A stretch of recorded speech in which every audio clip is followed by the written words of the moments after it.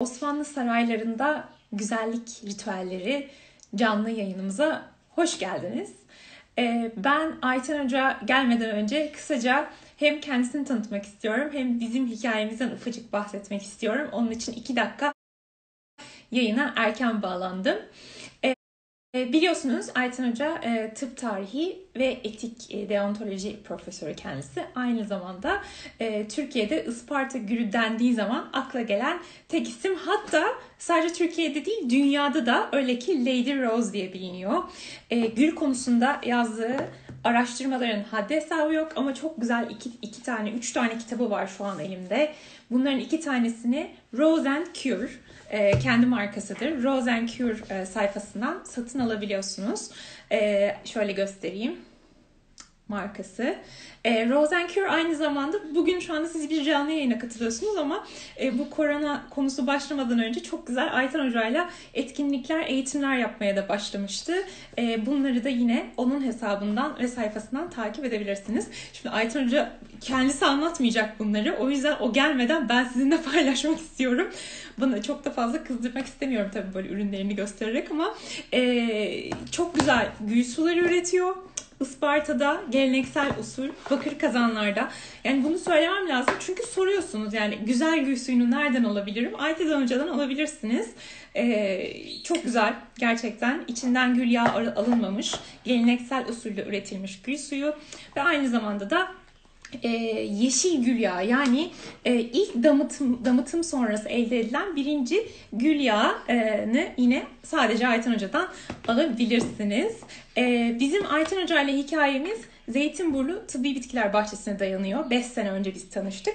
O günden sonra da hiçbir zaman ayrılmadık. Senelerce hocam hocam dedim. 2 senedir de gerçekten e, Medipol Üniversitesi'nde öğrencisiyim. Ondan aldığım ilham ve enerjiyle e, doktoramı yapıyorum. Güzel kokular üzerine, güzel kokunun tedavide kullanımı üzerine. Şimdi Aytun hocamı yayına bağlıyorum artık. Bayağı da bir toplandık. E, şöyle bakayım. E, bu arada nasıl yapıyorlar aslında? Şeyi kapatayım diyorum ama kapatamayacağım herhalde. Ha, istek göndermişti. Aytun hocamı bağlayalım ve sohbetimize başlayalım. Neredeymiş bu? Bakayım. İstek gönderdi gördüm aslında. Bakalım bakalım.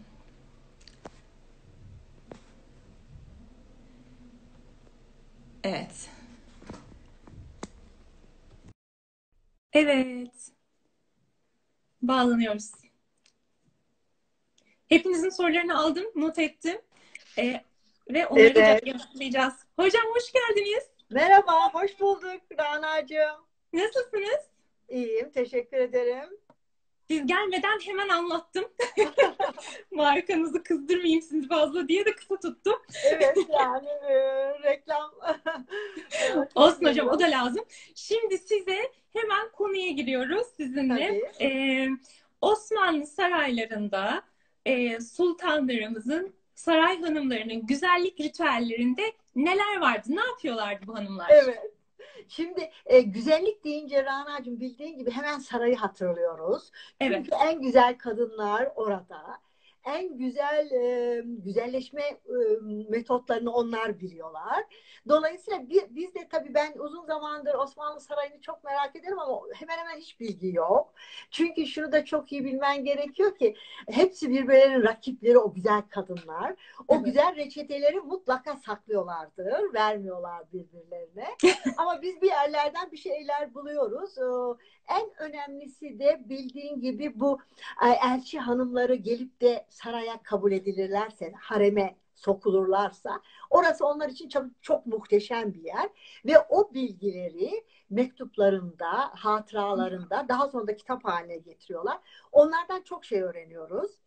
Dolayısıyla e, saray kadınlarının güzellik reçeteleri deyince hemen aklımıza daha doğrusu onlar hemen şunu yazıyorlar en başta. Zarif, temiz ve çok güzeller. Yani o e, saray kadınlarının güzelliklerini anlata anlata bitiremiyorlar. Hepsi çok yani çok güzel ve tabii ki e, o, o e, güzelliğe e, şunu çok önem veriyorlar. Diyor ki hele önem çok önemli bir e, yazar e, hamam onlar için çok önemli bir güzellik merkezi diyor. Yani e, bir kere tabii biliyorsunuz Batılılar daha o zamanlar hamamı bilmiyor. Bizim Osmanlı Osmanlılarda hamamdan çıkmıyor. Özellikle hanımlar çok önem veriyorlar. Biz Osmanlı tıbbında biliyoruz ki hamam sadece yıkanmak ve temizlenmek için değil. Aynı zamanda bir takım e, sağlıklı yaşam için çok önemli. Nemli ve sıcak hava. Şimdi or, o, hamamın güzelliğe çok büyük etkisi olduğunu söylüyor yabancı e, gelip ziyaret edenler. Özellikle keselenmek tabii. Hmm. Yani bugün, bugün o, o onları çok kolay uygulayabilir. Hala çok güzel hamamlarımız var. Hala 500 yıl önceki hamamlarımız var. Ve orada, Hocam neyle keseleniyorlar? Ne kullanıyorlar keselenmek için? Sünger mi? E, tabii ki oturup onları bir yani şöyle mutlaka kese için e, o ipek keseler. Ondan daha sert keseler. E, mutlaka çok değişik keseler vardı. Onlar tabii hem masaj yapıyor hem e, ölü derileri atıyor hem güzellik için çok önemli. E, bir kere e, hamam e, çok önemli. Hamamdan çıkınca da e, bir kere e, masaj da çok önemli. Hamamda masaj yapıldığını biliyoruz. Oradaki görevli kadınlar çok güzel usulleri var hafif masaj, daha hızlı masaj, daha ağır masaj e, ve bu masajlarla e, vücudu hareketini de sağlıyorlar tabii. Kan e, dolaşımını işte, arttırıyorlar. Efendim? Kan dolaşımını da arttırıyorlar. Kan dolaşımını arttırıyorlar. İşte istenmeyen yerlerdeki yağların üzerine şey yaparak falan onu dağılmasını mutlaka o görevliler kime nasıl masaj yapılacağını biliyor. Biz bu masajları Osmanlı tıp kitaplarında görüyoruz ve orada benim gördüğüm kadarıyla 9 çeşit masaj anlatılıyor. Ve bunların tabii ki sağlık için işte e, ne istiyorsanız ona göre tedavi için ama hanımlar güzellik için hem kese hem masaj ve çıktıktan sonra da mutlaka o bizim muhteşem yağlarımızla yağlanıyorlar. Yani Hocam bir dakika çıkmadan çıkmadan bize şeyi de söyleyin. Hamamda kullandıkları güzel kokuları. Siz yani Aa, evet. kadar anlatırsınız evet, ya. Evet, evet haklısın. Çünkü biz hamam hakkında çok fazla bir şey bilmiyorduk. Ee, yeni yeni böyle hamam risalelerini falan okuduğumuzda ben e, şeyde e, hamamın içerisindeki e, dezenfeksiyon işte tütsülenmeyi falan bilmiyordum. Daha yeni yeni öğrendim. O da bir bu e, şeylerin kontrol eden e, esnafı kontrol eden memurların emirleri içinde hamam işte şöyle olacak, böyle olacak, suyu şöyle olacak ve günde iki kere tütsülenecek diyordu. Ne kadar? Ya ben de hiç bilmiyordum neyle tütsülenecek, nasıl tütsülenecek. Onu da daha sonra bir hamam risalesinde e, gördüm. Tabii ki bu dezenfektan madde, öd ağacı, uğut dediğimiz şimdi. Hı-hı. Ondan sonra işte e, kekik e, e, gibi e, bir takım e, amber e, vesaire gibi şeylerle e, tütsüleniyor. Özellikle tabii ki e, bulabildikleri güzel kokulu otlarla. Tabii onlar da dezenfekte de ediyor. Ve o kadar enteresan ki ben bunu hep söylemek lazım. E, inanılmaz zarif, inanılmaz güzel insanlar. Yani biz bunları yeterince bilmiyoruz. Bildikçe de hayran oluyoruz. Mesela e, Hamam Risalesi'nde der ki hamamı ısıtmak için, hamamdaki suyu ısıtmak için biliyorsunuz hamamlar sıcak suyla ısınırlar. Öyle içinde soba falan yok. Çok özel bir kalorifer usulü gibi bir şey. Bunu ısıtırken hamamda yakılan otların odunların belli odunlar olması lazım. İşte defnedir e, filan gibi.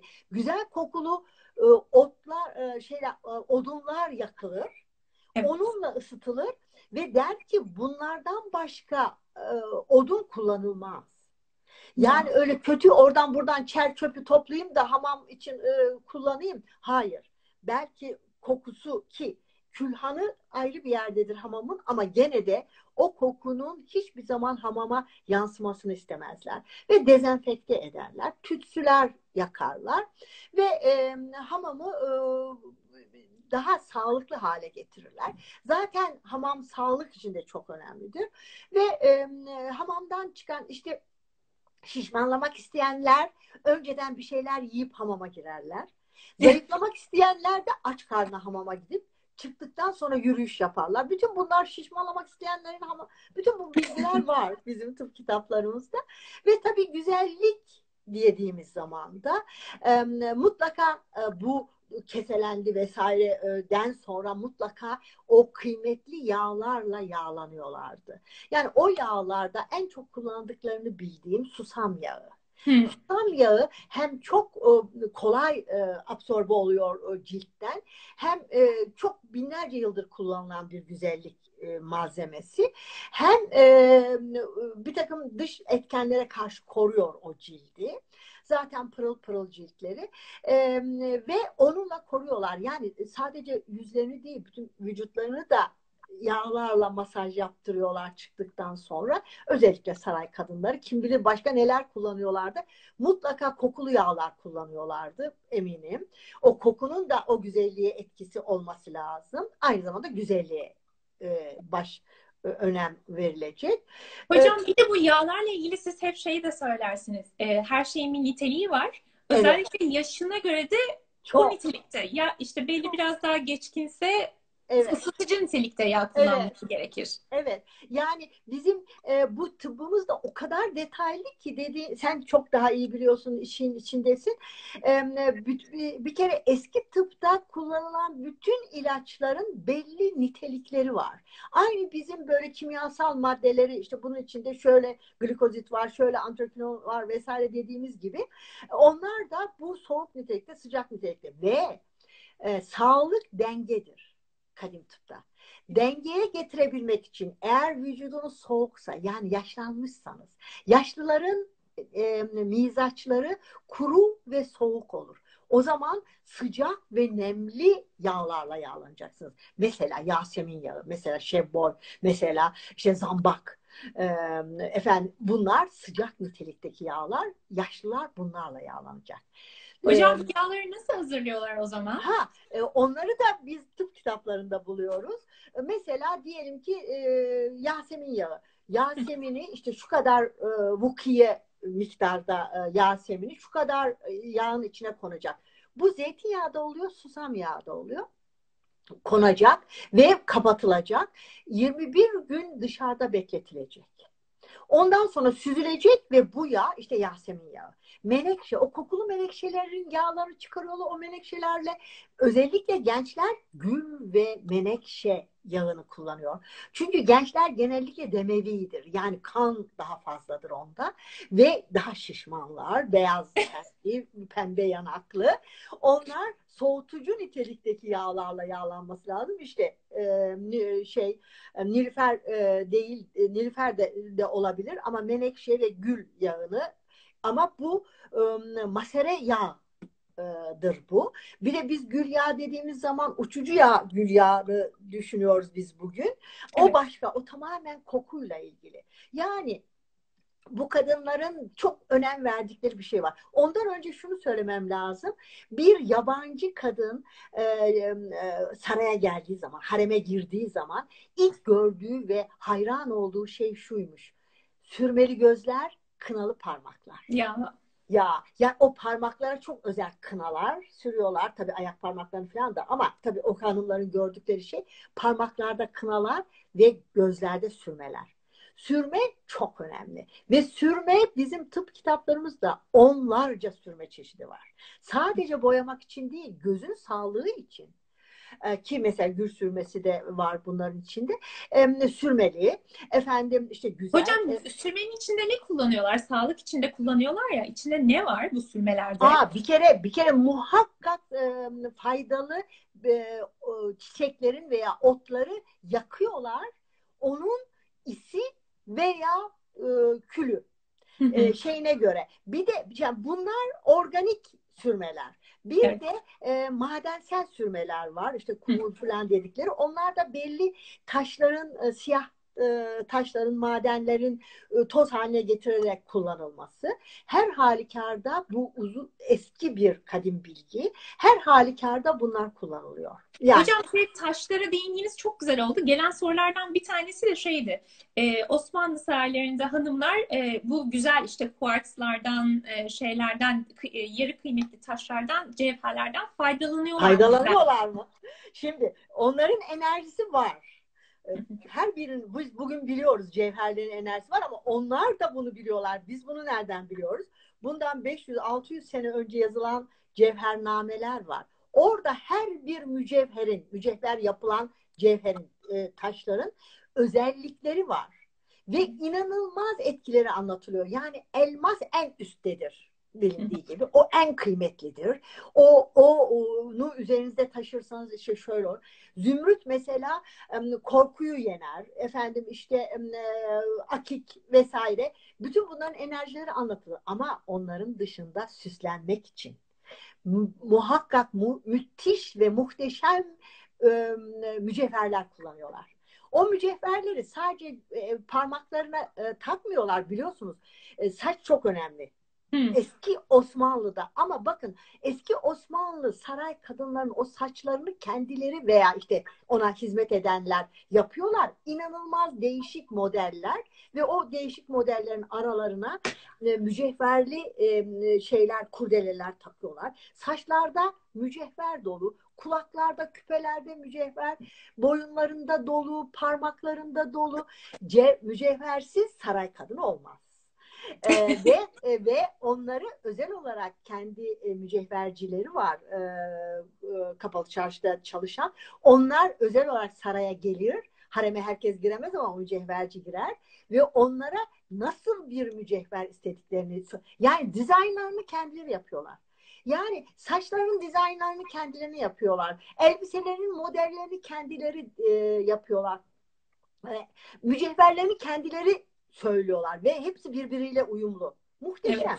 Bu arada mesela mücevher deyince inci çok kullanılıyor. İnci muhteşem bir şey. Çok kullanırlar. Çünkü onun e, saçtığı enerji de çok önemli. E, hanımlar İnci küpe takıyorsunuz hocam. Ben ben e, incisiz e, e, duramam yani o, o, o küpelerin mutlaka inci olacak. E, onların verdiği enerji tabii çok önemli.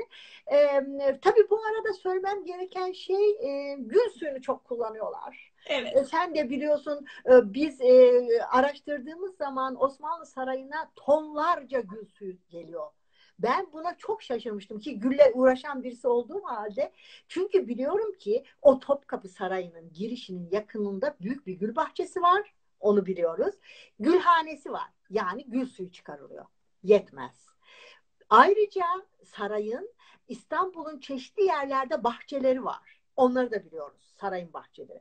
Orada da gül yetiştiriliyor. Gül yetiştiren her yerde gülhane var. Yani gül suyu çıkarılıyor. O da yetmez tonlarca Edirne'den getiriliyor. Tonlarca. Yani e, çünkü e, kadınlar güzelliği, gün suyunun hem kırışık giderici, nemlendirici, ferahlatıcı özellikleri çok iyi biliyorlar ve onu bütün hanımlar ama tabii beyler de kullanıyorlar ferahlatıcı etkisinden dolayı ve zaten Osmanlı'nın ikramının içinde üç önemli şey var. Kahve, gül suyu, şerbet şey bu arada tütün de var onu söylemiyorum. o zamanlar tütün o zamanlar tütünün zararı bilinmiyor. O keyifle tütün de içiyorlar. Ee, ama bu üçü e, çok önemli ikram ve herkes yani sadece sarayda değil, resmi dairelerde, efendim işte önemli insanların konaklarında. Tabii onlar gül suyu ikram ederler de benim halkım etmez mi? Halk da gül suyu ikram ediyor. Çünkü buralarda yetiştirilen gül suları gelip satılıyor. Hatta şey Evli e, Çelebi biliyorsunuz Mısır Çarşısı'nın orada Edirneli hanımlar bakır kazanlarda gül suyu satarlar diyor. Hatta 70 tane falan bahsediyor e, gül suyu satan kişilerden İstanbul'da. Tabii sadece İstanbul'da değil, muhakkak Osmanlı'nın her yerinde gül suyu önemli bir güzellik malzemesi. Peki hocam bu gül suyunu nasıl kullanıyorlar? Ne zaman kullanıyor? Bu güzellik amaçlı ne zaman nasıl kullanıyorlar? Anladım, anladım. Bir kere e, biliyorsunuz beş vakit namazını kılarlar ve e, hemen abdest aldıktan sonra hemen bir gül suyuyla. Çünkü bakın abdest alıyor, gül suyuyla yüzünü yıkıyor ve namaza duruyor. Onun güzel kokusu onu etkiliyor. Çünkü namaz ruhu etkileyen bir ibadet şekli.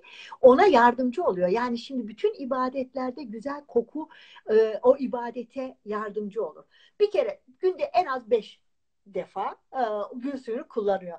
Ayrıca e, gıdalarında da çok kullanıyorlar. Şerbetlerinde gül suyu. Bir kere tatlılarına gül suyu katıyorlar. Bizim Osmanlı'da tatlılarımıza gül suyu katarmışız. Onları unutmuşuz ama biliyor musunuz işte Halep'te, Şam'da, e, Orta Doğu'da hala bu gelenek devam ediyor gül suyu. Biz bir tek sanıyorum şey su muhallebisinde şimdi gül suyu kullanıyoruz. Evet. Muhteşem bir şeydir. Muhteşemdir yani benim için. Şimdi e, şerbetlerde, şuruplarda işte kendileri kullanıyorlar ferahlamak için. İşte e, sinir bozukluklarında filan e, çünkü hanımlar birbirleriyle e, e kavga ettikleri zaman hemen bir gül suyu ferahlatıyor, rahatlatıyor. Hemen vazgeçiyorlar filan. Tabii kolay bir hayat değil ama e, güzel de bir hayat ayrıca. E, şimdi bu hanımların bilmiyorum soru var mı? İsterseniz Yok hocam ben olarak... bir şey eklemek istiyorum. E, yani sormak istiyorum. E, bu dediniz ya hani bizim o zaman kullandıkları güzel kokulu yağlar e, gül yağı bizim e, kullan bizim bildiğimiz bu uçucu yağ değil. değil. Nasıl hazırlıyorlar bu? Siz gül iksiri e, dersiniz. E, bu bunu çok iyi biliyoruz. Çünkü tıp kitaplarında gül iksiri diye e, şimdi dühün denilen bir yağlar bölümü vardır. Arapça dühün yağlar demek. Bu yağların içinde bizim e, kokulu, etkili, faydalı bütün bitkilerimizi, özellikle çiçeklerimizi bu yağların içinde masere ederler ve onu e, kullanırlar. Bakın o o kadar büyük bir bölümdür ki hemen hemen bütün köklerin, bütün işte e, çiçeklerin, bütün işte bazı önemli yaprakların kokularını bu şekilde elde ederler. Gül için söyleyeyim, gül iksiri çok önemli. Buna iksir diyorlar. İksir simyadan gelen bir terim e, mucizevi bir şey demek. İksir yani bir mucize yaratan şey demek. Gül iksirini tıp kitapları şöyle anlatırlar. Efendim güzelce gülleri toplayacaksınız, yıkayacaksınız, bir kavanoz içine dolduracaksınız. Şimdi yalnız bunları söylüyorum çünkü o zamanlar etraf temiz, hava temiz, hiç e, kimyasal ilaç kullanılmıyor. Şimdi biz bunu yapmaya kalkıştığımız zaman hemen diyorum ki ne olur öyle her yerde olan hani mazotların işte arabaların olduğu yerdeki gülleri kullanmayın işte ilaç dökülen yerlerdeki gülleri kullanmayın. Çünkü onların hepsi maalesef o yağın içine geçecek. Şimdi yağ iyi bir çözücü gülü veya o kokulu menekşeleri, o ıı, güzel menekşeleri veya yaseminleri artık ne kullanacaksanız onları kavanozun içine dolduracaksınız. Onun üzerine de tepesine kadar zeytinyağı veya susam yağı. O zamanlar fiyat aynıymış. Şimdi biraz farklı tabii. e, dolduracaksınız. En üstüne de temiz bir taş koyuyorlar. Çünkü bu um, çiçekler hiçbir şekilde yağın üstüne çıkmasın. Yağın Hı. üstüne çıkarsa bozulma ihtimali var. Yağı bozar. Asla bu. Üste kalacak yağ. 21 gün güneşe ve yıldızlara arz edin.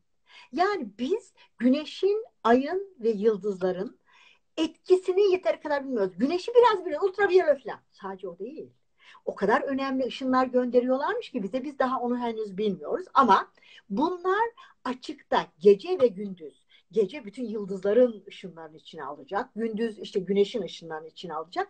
Ve o yağ onu absorbe edecek. Ve Hocam bu, şu güneşe ve yıldızlara arz etme kısmı harika bir şey. En sevdiğim şey evet, tarifleri verirken. Ben bunu hep söylüyordum. Ee, işte bayağı 10 senedir falan e, güneşe ve yıldızlara arz edin. Yeni yeni enerji tıbbı e, ortaya girdiği zaman orta şimdi biraz onlar söylenebiliyor. Zaten kadim tıp bunu çok iyi biliyor. Ayın yıldızların etkisini çok iyi biliyor. Bakın bütün e, hastalıklarda, tedavide, hacamatta vesairede ayın durumunu dikkat ederler. Yıldızların durumuna dikkat ederler. Tarımda bu çok kullanılıyor. Öyle zamanlar var ki ziraatçıya diyor ki kadim ziraatçı, tarımcı şu şu şu günlerde sakın hiçbir evet. şey yapmayın. Yani ne ekin ne biçin ne şey yapın. Katiyen hatta gidip ağacınıza bile dokunmayın. O kadar etkili. Biz bunları bilmiyoruz. Ama şu, biz bildiğimiz şu kadar. O yağın içinde biliyorsunuz yağ iyi bir çözücüdür. Ve gülün içindeki bir sürü veya işte diğer bitkiler ve çiçeklerin içindeki bir sürü ma- maddeyi o içine absorbe ediyor. Yani masere etmiş oluyorsunuz. Sonra evet. onları güzelce e, çıkarıyorsunuz, süzüyorsunuz.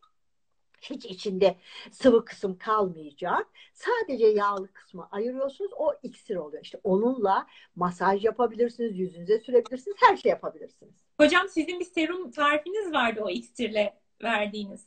İçerisine gül yağı, şimdi uçucu yağını da katarak çok güzel yüz serumu yapmıştık. Hatırlar mısınız? Evet, evet, evet. Yani e, o zaten bir sürü deri hastalıklarında tavsiye edilen bir şey. Bu ülserler, eksamalar vesairede fevkalade tavsiye eder Osmanlı hekimleri.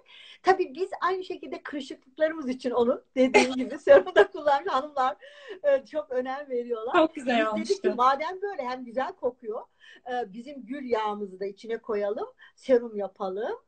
Hem kırışıklarımızı gidersin hem de çok güzel kokuyor. Biz de ondan Tarifini paylaşıyor muyuz hocam? Şimdi merak ediyorlardır tarifini. Ay yani şimdi onu çok geliştirdik tabii ama Tamam. e, şöyle diyebiliriz. Gül iksirini hazırlayın. İçine ham gül yağı işte yani mümkün olduğu kadar e, çok e, şeyde evet yani bu ham gül yağı e, çok özel bir yağ. Hiç e, kaynatılmadan geçirilmiş. Onu koyacaksınız. 10 e, mililitreye yarım mililitre veya işte 20 mililitreye 1 mililitre gül yağı. Yani 10 veya 20 damla gibi. Evet, evet onu Hı-hı. kullanacaksınız. Süper. Peki Serum hocam olarak. siz bir de Osmanlı hanımlarının şeyinden bahsedersiniz. Çok bilinen bir şey değildir ama işte arpalar, buğdaylar, yulaflar evet. bunlarla maskeler yaparlar. Nasıl yapıyorlar? Şimdi bakın Osmanlı e, tıbbında bu e, konular yani e, tohumlar güzellikte kullanılan çok önemli şeylerden biridir.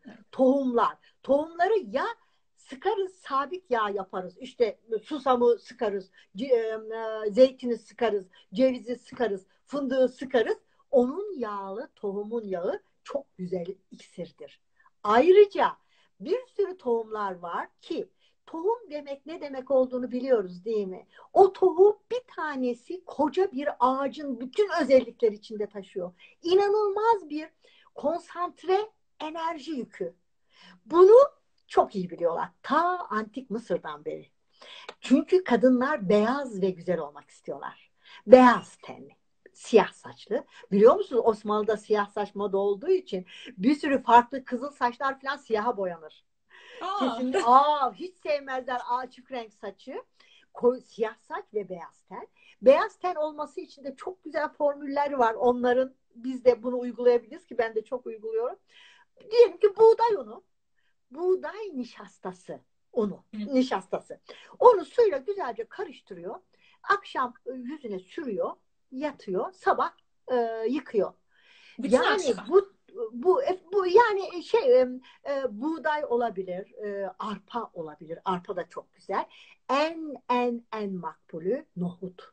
Hmm. Nohut ununu ondan sonra un haline getirip sulandırıp yüzünüze maske şeklinde yapabilirsiniz veya güzelce çalkalayıp üstündeki suyu yüzünüze sürüp yatabilirsiniz. Bunların mesela e, çok kullanılan bir şey daha var. Kırmızı mercimek.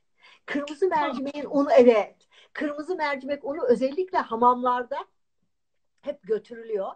Ondan sonra hatta hamamcılar çok kızıyorlar. Dökmeyin yerleri, kirletmeyin falan diye. O çantaların içinde o şeyler.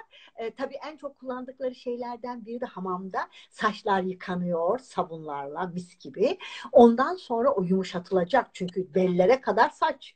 Onları işte ebe gömeci, hatmi gibi böyle müsilajlı e, bizim bitkilerimiz var. Onları suyun içine koyuyor. O müsilajlı suyu krem gibi saçlara sürüyor ve kolay taranıyor.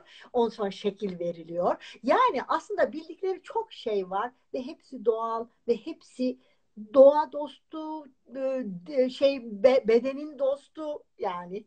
Peki hocam bal kullanıyorlar mı? Evet. Çok. Yani bal maskeleri e, fevkalade. Yağ maskesi, bal maskesi, bal e, çok e, eski Mısır'da bile çok var. Bizde de çok var. Yani mesela tereyağı var, yoğurt var, kullanılan şeylerden tereyağı da çok kullanılıyor. Ee, yani e, doğadaki o güzellikleri muhakkak kullanıyorlar. Muhakkak Peki hocam biraz da ağız yani çok konuşulmayan bir konu. Ha, evet, Ağızdan evet. bahsedelim. Ağızlar için ağız için evet. ağız sağlığında kullandıkları güzel evet. kokulardan. Şimdi e, şöyle ben bunu ancak o seyyah o hanımların elçi hanımlarının yazılarında fark ettim. Daha önce hiç bilmiyordum. Sonra araştırdığım zaman gördüm ki onu çok güzel e, kullanmışlar. Diyor ki o zamana kadar batıda asla yok. Bakın 15. 16. yüzyılda ağız kokusu için kullanılan o ufacık şekerlemeler var ya onlar evet. asla yok. Onun için zaten mektuplarında yazıyorlar diyorlar ki buradaki saray hanımları muhteşem kokuya meraklılar. Ağız kokusuna asla tahammül edemezler. Asla ağız kokmayacak. O zamanlar tabii e, batıda her türlü koku var. Avrupa'da her türlü koku var. Ve ufak şekerlemeleri ağızda tutuyorlar ve nefeslerinin güzel kokması için diyor. Ve e, ben de tabii ona aradığımız zaman nerede buluyoruz? Her zaman gibi tıp kitaplarında. Tıp kitaplarında bu anlatılıyor. Ağız kokusu için o ufacık şekerlemeler nasıl yapılacak? Aslında şekerleme de değil. Bakın çekirdeksiz üzümü e, şeker olarak kullanıyor ve e, koku olarak hangisini severler? En çok sevdikleri şey ağaç kavunu. Ağaç hmm. kavunu yani bergamot. Yani bizde bizim ağaç kavunumuz bergamotun bir farklı bir cinsi. Onun e, kabuğu muhteşem kokar. O rendeleniyor. E, o e, çekirdek üzümle beraber e, dövülüyor. Ufacık ufacık e, tabletler yapılıyor. Onlar muhakkak e, bir e, güzel kavanozlarda bekletiliyor. O kavanozlardan işte mesela e, sabahtan peş peşe üç tane alırsa eğer bütün gün güzel kokuyor. Yani mesela küçük Hindistan cevizi dediğimiz nutmeg vardır. Nutmeg'i muhakkak kullanıyorlar. Küçük Hindistan cevizi koku olarak. Muskat değil mi hocam bir de? Muskat, muskat. Evet, evet. Nutmeg dediğimiz muskat. Ee, onu kullanıyorlar. Bir sürü şeyi kullanıyorlar ve çok güzel kokuyor. Hem kendileri hem ağızları kokuyor. E, ve e, bu bilgiler daha sonra batıya gittikten sonra işte o ufacık şekerlemeler ve diyor ki tabii biz bunu sadece tıp kitaplarında yazdığı kadarıyla biliyoruz. Ama bu elçi hanımı diyor ki o kadar mahirler ki İstanbullu esnaf bu ufacık şekerlemeleri yapmak için kokulu şekerlemeleri. Demek ki her bir esnaf kendi özelliğini içine katarak bu ufacık kokulu şekerlemeler yapıyor ve satıyorlar. Yani e, aslında çok önemli e, bir kültürün e, çocuklarıyız. Evet. E, hala bilmiyoruz. Çünkü bizi yanlış yönlendirdiler galiba. Bizim e, bizi sadece savaşan, kaba saba insanlar zannettiler. İnanılmaz. Hamamda yakacağınız odunun kokusuna ve e, kalitesini saptayan bir kültür. Peki 40, 40 kişiyle yapılan bir bu üç tane ikram dedim ya kahve, şerbet, işte gül suyu 40 kişiyle yapılan bir ikram. Böyle bir incelik olabilir mi? Ben çok şaşırıyordum. Bu nasıl bir şey diyordum. Meğersem her ikramdan önce bir makreme dedikleri e, işli bir peçete. Hmm. Dize koyuyor. Öyle hemen önüne falan dökmüyor. Biz biz çok kabalaştık önce önce bir e, cariye çok zarif bir cariye herkesin e, dizine bir e, peçete koyuyor işli. Ondan sonra işte gül suyu e, ikram ediliyor. Sonra o kaldırılıyor. Bir başka işli peçete konuluyor. O da şerbet ikram ediliyor. O kaldırılıyor. Şerbetten sonra muhakkak o e, şey e, ıslak e, havlular. Yani yani yani e, her şeye özen gösteriyorlar. Hocam Çok. bir de sakızdan bahsedersiniz. Evet. Sakız Evet. Bakın ben bunları yeni yeni fark ediyorum. Çünkü o kadar çok bilgi var ki ancak bir zaman sizi e, sakız çok önemli bir ağız hijyeni için. Biz bugün e, sakızları işte ağız kokusu için filan zannediyoruz ama Osmanlı tıbbındaki hekimler ağız, diş, diş eti için sakızın çok önemli olduğunu söylüyorlar. Ve dolayısıyla hatta bu elçi hanımlar diyor ki bu hanımlar durmadan ağzında sakız çiğniyor. Çünkü hekimler onları yönlendiriyorlar. Bu sakızlar da genellikle bildiğimiz gibi o çam, e, şey e, nasıl damla sakızı dediğimiz sakızlar var ya Sakız Adası'nın bizim şimdi İzmir'de, Çeşme'de yetiştiriliyor. O damla sakızlar az bir miktarda e, bal mumuyla yumuşatılıyor. Çünkü biliyorsunuz o e, öyle ağza alındığı zaman e, parçalanıyor. Onun çok güzel usulleri var. Onunla beraber güzelce halledilip ufak ufak sakızlar yapıyor. Sadece o değil. Bazı bitkilerin e, nasıl söyleyeyim kök öz suları Şimdi hala Anadolu'da satılan sakızlar var. E, kök öz suları alınıyor. Onlar sakız yapılıyor. Yani inanır mısınız sakızla ilgili o kadar çok kullanılan malzeme var ki bu malzemelerin hepsi dok hekimler tarafından tavsiye edilmiş ve ağız hijyeni, diş, e, diş eti ve ağız kokusu için. Hı hı. Ve bunlar o kadar çok kullanılıyor ki e, sana da göstermişimdir. E, sarayda inanılmaz mücevherli sakız kapları, evet. mücevherli ağız kokusu kapları ve tabii ki gül suyu kapları. Üstü evet. yastıklı, elmaslı vesaire. Çünkü kıymetli olan şey böyle yapılır. Evet. Gül suyu çok kıymetli, gül aptanlar çok kıymetli. Ee, e, sakız çok kıymetli, sakız danlıklar çok kıymetli. Ağız şekerlemeleri çok kıymetli, onları konulan kaplar kıymetli. Dolayısıyla böyle zarif bir kültür. Ay hocam çok güzel anlatıyorsunuz. Peki e, Avrupa'da biliyorsunuz çok böyle pudralar, mudralar falan sürüyorlar evet. yüzlerine, şeylerine. Çok renklendiriyorlar. Osmanlı saraylarında böyle bir renklendirici bir şeyler kullanılıyor mu? Dudaklar için, cilt için. Evet. Yani o Avrupalı e, şeylerin, asillerin taktıkları peruklar asla. o asillerin o bembeyaz pudralı yüzleri asla. O yanaklarında kırmızı kırmızı dudakları erkeklerde bile asla. Ama muhakkak o beyazlatma için çünkü beyaz ne kadar beyaz olursanız o kadar makbulsünüz. O zaman beyazlatıcı hafif bu üstü beş türü bir takım e, tozlar vardır. Onlardan veya daha sonra e, civalı e, bir takım e, malzemeler var. Gergin ve beyaz gösterecek yüzü. Ama bakın tabi, tabiliği bozmadan. Asla tabi. Çünkü kıymetli olan tabii olandır. Yani sarayda e, bir hokkabaz gibi boyanan hiçbir kadın düşünemiyorum. Evet. E, yani onlar bir kere şu çok önemli. E, çok iyi eğitim görüyorlar. Zarifler. E, el hünerleri var. Saçlarını yapabiliyorlar. İşte müzik yapıyorlar. Şiirler yazıyorlar. Ona okuma yazma çok iyi biliyorlar. Nakışlar yapıyorlar. Elbiselerini e, kendileri dizayn ediyorlar. Çok zarif bir e, hanım topluluğu. Evet. Hocam ben şimdi size böyle ara ara sorular sorarken tabii. daha önce gelen soruları toparlamaya çalışıyorum. Tabii. Sorularım tabii. bittikten sonra da yorumları açacağım. Ee, şu anda izleyen e, katılımcılarımızdan soruları alacağız. Tamam. Şimdi merak edilen bir konu, konulardan bir tanesi de Hürrem Sultan, Kanuni Sultan Süleyman'ı nasıl e, nasıl etkiledi? Şimdi bu bunlar soruluyor ama bakın bunu hiçbir zaman e, cevaplayamaz. Hiç kimse cevaplayamaz. Şimdi Hürrem Sultan güzel miydi? Bence güzeldi ama onun gerçek resimlerine baktığımız zaman aslında iri bir burnu falan çok da güzel değil ama çok zekiydi. Yani düşünsenize Kanun Sultan Süleyman gibi böyle dünyayı fetheden bir adamın e, sevgilisi aptal olamaz. Mutlaka Yok. çok zekiydi. çok zeki olan bir kadın mutlaka çok güzel giyinecek çok güzel konuşacak, çok güzel kokular kullanacak. Ama yani şuraya düşürmememiz lazım. Yani Hurrem böyle dökük, saçık, böyle çirkince bir kadındı da efendim bir e, kokuyu kullandı da e, Kanuni ona e, aşık oldu. Öyle bir şey olabilir mi? Olabilir mi?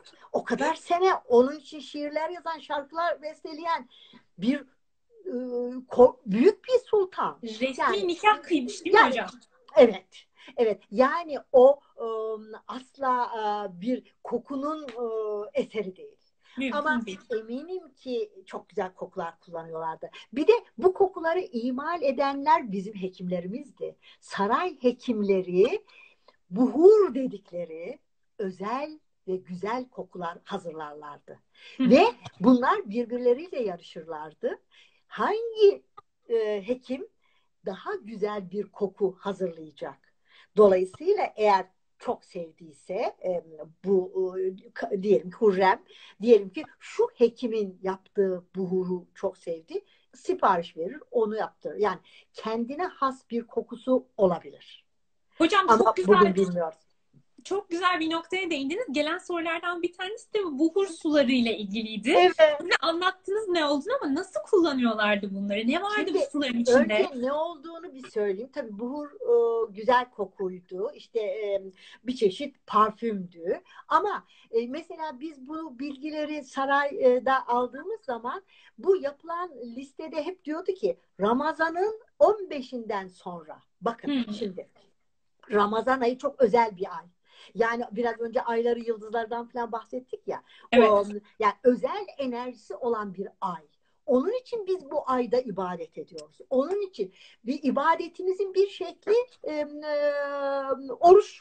Oruç ruhları e, geliştirmek için önemli. Çünkü Osmanlı hekimleri derler ki e, ruhların gıdası kokudur. E, eğer yemek yemezseniz mideniz boş olursa, oruç olursanız ruhunuz gelişir. Yemek yerseniz bedeniniz gelişir, ruhunuz zayıflar. Dolayısıyla ruhları biz oruç tutarak işte geliştiriyoruz. İşte um, ibadetlerimizi ona göre yapıyoruz ve düşünün 15 gün geçti e, Ramazan'da. Gittikçe daha inceliyor ruhumuz. Daha biz o ruha yaklaşıyoruz. İşte o zaman buhur. Ve Ramazan'ın 15'inde buhur yapılıyor sarayda Hı. özel merasimlerle ve onlar özel şişelerle çok özel işte onu e, kaplayan işte atlastan yapılan bir takım e, kurdelelerle vesairelerle saray halkına ve özel aristokrasiye e, gönderiliyor. Şimdi bu buhur suları tabii ki e, dediğim gibi her e, hekimin kendi e, yaratıcılığı. Ama bizim bildiğimiz bir şey şu. En güzel kokulu şeyler ne? İşte karanfil, e, e, tarçın, ondan sonra işte ma, muskat, ondan sonra hepsi gül suyunun içinde. Bunlar çıkımlara konuluyor. Bütün bunlar işte gül suyunun içinde kaynatılıyor. Ama bakın e, parfüm yapanlar, parfümörler bilirler ki bu kokular önemlidir ama bunların e, sentezi bir araya getirilmesi çok daha önemlidir. Bunu evet. da ancak bu kokuyu bilenler bilir. Yani içine işte karanfili doldurursanız karanfilden başka bir şey kokmaz ve sadece basit bir koku olur. Ama e, bu um, formüller öylesine e, kendi içlerinde bir matematiği vardı ki bunu da tabii ki gizli bilgiler. Çünkü neden?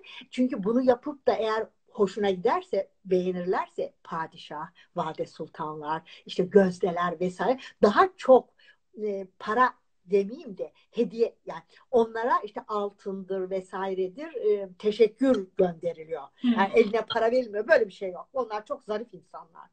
E, yani onlar e, onlara bu güzel kokuları hediye ediyorlar. Onlar da bir böyle güzel paketler içinde ona bir armağan veriyor. Bu armağan padişahsanız eğer bir toprak olabilir. bir valide sultan bir bahçe hediye edebilir veya altınlar işte e, vesaire vesaire. Şimdi e, buhur suyu e, bizim parfümümüz asla alkol yok. Alkol kullanılmaz. Hiç de gerek yok. E, gül suyunun içine o güzel kokulu öğüt. Ha en çok kullandıkları şey biliyorsun amber ve misk Evet. E, mis, e, mis keçisinin veya geyiğinin e, bir e, kokusu e, şeyinde e, cinsel organlarında e, şimdi artık yasak. O güzelim ceylanlar vesaireler o kokular için öldürülüyormuş. Dolayısıyla evet. yasak. Biz miskin kokusunu yeterince bilmiyoruz. Ama amber e, bir çeşit e, balığın e, kendisinin e, bir şekilde midesinden çıkardığı bir malzeme. O da güneş ışığında işte deniz kenarına falan geldiği zaman güzel kokan bir şey. O da şimdi biraz az ama e, öğüt dediğimiz uğut, e, ondan sonra sandal ağacı, Hmm. Ondan sonra işte bu bütün kokulu ağaçlar. O kokuyu bilen ve kullanan e, kişinin ustalığına göre bunlar e, imal ediliyor ve o insanlara verir ve o insanlar ibadetleri sırasında bu güzel kokuları kullanarak ruhlarını daha da e, geliştiriyorlar. Hmm. Hocam üstlerini mi sürüyorlar, ciltlerini mi sürüyorlar, saçlarını mı sürüyorlar? Hayır efendim, hayır. Sadece ellerine döküyorlar ve kokluyorlar. Bu kadar. Yani aslında elbiselerini güzel kokuyla muamele ediyorlar. İşte saçlarına kokulu ıı, malzemelerle yıkıyorlar filan ama bu çok kıymetli bir malzeme. Bu aynı parfüm. Parfümü şimdi her yere sıkıyorlar ama öyle bir şey yok. Onu ellerine sıkıp kokluyor. Ondan sonra da işte namazını kılıyor, ibadetini yapıyor filan. Peki hocam sirke. Sirke ha. güzellikte kullanılıyor mu? Evet. Şimdi e, sirke güzellikte şöyle kullanılıyor diyeyim. Sirke çok güzel bir şekilde karaciğeri temizleyen bir malzeme. Sirkencübin dediğimiz bir e, formül var. Çok iyi biliyorsun. Bu çok eskiden beri oksimer dediğimiz ta Hipokrat'tan beri bildiğimiz belki antik Mısır'a dayanıyor. Onu da e, büyük bir ihtimalle tahmin ediyorum. Sirke ve balla yapılan bir şerbet. Ama bu çok çok sulandırılmış bir şerbet. Hı. Bu şerbet içildiği zaman e, bütün hırtları temizliyor, karaciğeri temizliyor, tıkanıklıkları açıyor ve dolayısıyla güzelleştiriyor. Yani sirkenin yüze sürüldüğünü vesairesini çok iyi bilmiyorum. Rastlamadım. Rastlarsam şey yapar. Ama zaten bedeniniz güzel olduğu zaman, sağlıklı olduğu zaman zaten yüzünüz güzel oluyor. Evet. Bu şekilde bir güzellik şeyi olabilir. Hocam çok güzel ifade ettiniz. Şeyde e, şimdi ben elimdeki son soruyu size soracağım. Bu arada da e, şeyleri açıyorum. Yorumları açıyorum. Son 10 e, dakikamız şey tamam. yapacağız. Sorular tamam. alacağız. Bendeki son soru şey e, erkeklerin böyle bir güzellik bakım Aa, şeyi var mı? Olmaz mı? İnanılmaz. İnanır mısınız? Ben Osmanlı tıp kitaplarındaki güzellik e, malzemeleri, güzellik reçetelerinde erkeklerin daha çok. Gerçekten mi? Tabii. Bakın saçlar, sakallar, yüzler, e, tırnaklar vesaire. Şimdi saç sakal ağarmaması lazım. Bu fevkalade iyi bilinen bir şey ve öyle reçeteler var ki saç sakal ağarmasın diye neler kullanılacak. Bir kere e, dökülmesin saç sakal. Hı. Onlar onun güzellik e, malzemeleri bir erkeğin. Dökülmemesi için önce şunu söyler Osmanlı tabipleri. Önce bir kere vücuttaki e, yaramaz hıltları atın. Çünkü bir saç ağarmaya başlarsa vücutta zararlı hıltlar, zararlı sular, sıvılar birikmiş demektir. Zamanından önce saçın ağarması ve dökülmesi vücudunuzdaki bir problemi gösterir. Onun için bu beylere derler ki önce siz vücudunuzdaki bu hıltları temizleyeceksiniz. İşte bağırsaklarınız e, kirliyse işte müsil alacaksınız, kanınız kirlenmişse e, e, şey hacamat yapacaksınız vesaire vesaire. İşte ondan sonra saçlar özellikle mesela defne yağı ve mersin yaprağının yağı saçları siyahlatmak ve kuvvetlendirmek için çok kullanılır. Saçları siyahlatmak. Tabii. Gelen sorulardan bir tanesi yani boyayla ilgiliydi. mani olması ve beyazlanmaması için bunlarla muamele ederler saçları sakalları ki beyaz e, beyazlanmasın. Beyazlanınca tabii yaşlı olduğu ortaya çıkacak. Boyamazlar da mümkün olduğu kadar ama boyayla ilgili kınayla ilgili çok şeyde saçı sakalı boyadıkları hakkında da bilgimiz var ama neyse onu bir kenara koyalım. Erkeklerin güzellik için mutlaka hamamı kullandıklarını çok iyi biliyoruz e, keseleri vesaire kullandıklarını çok iyi biliyoruz. İstenmeyen tüylerinden temizlendiklerini çok iyi biliyoruz. Bir de tabii çok kullandığı kadın da erkekte kil var. Hmm. Kil hem beden sağlığı için hem saç sağlığı için vazgeçilmez bir şey. Kil hmm. mutlaka yıkanıyorlar, temizleniyorlar. Ben eskiden zannederdim ki kille yıkanıyor. Hep öyle derlerdi bize. Çünkü e, bir takım bilgiler e, kirlendi ve e, yok oldu.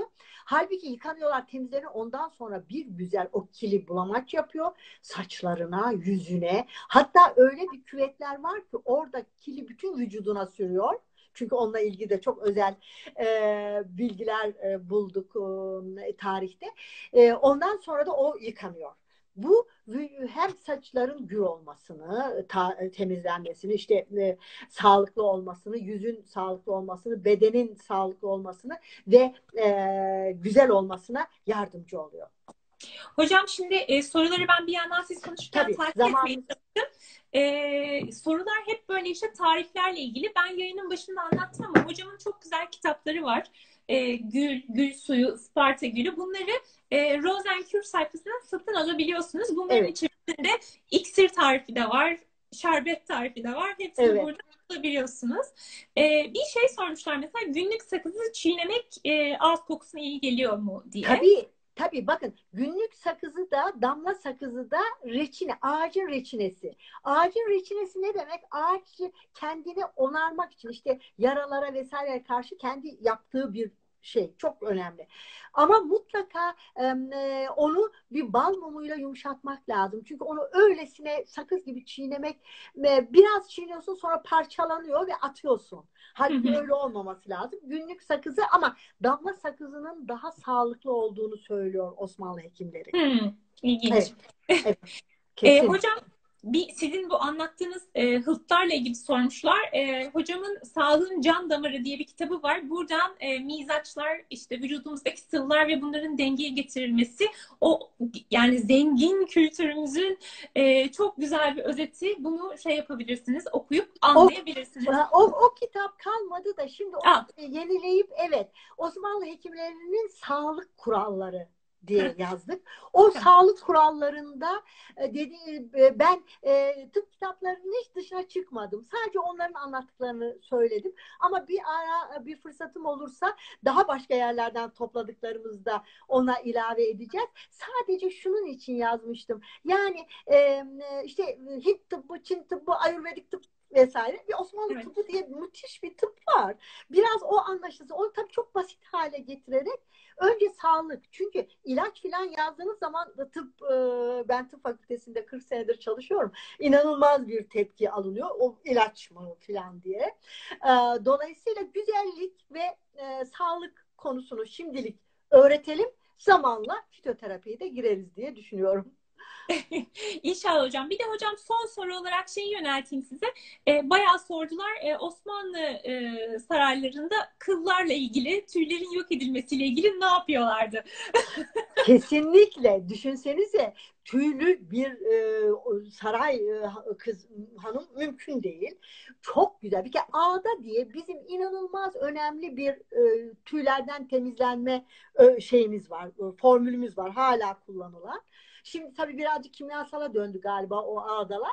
E, şekerle, şerbetle veya işte yapılan ağdalar onunla bir kere muntazam ağda yapılıyordu. Bir de Orta Asya Türklerinden beri gelen iple İnanır mısın Orta Asya Türkleri de biz biliyoruz. O iple beraber işte yüzdeki tüyler yok efendim koldaki vesairedeki tüyler büyük yerlerdeki tüyler ağdayla temizleniyor ama daha ufak yerlerdeki tüyler o iplikle temizliyorum ve hepsinin elinde o maharet var. Hemen pat pat pat pat asla e, tüylü bir güzel hanım göremezsin. Kaşlar, kirpikler, istenilen yerler tertemiz. tertemiz. Hepsi muntazam.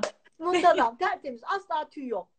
Hocam, hocam ağzınıza sağlık. Çok teşekkür çok teşekkür ederiz. Ben çok güzel teşekkür... bilgiler paylaştınız. Her zamanki gibi harika. Çok büyük teşekkür. keyifle dinledik sizi. Teşekkür ederim. Ee, ben de çok mutluyum. Seninle bir arada olduk bugün.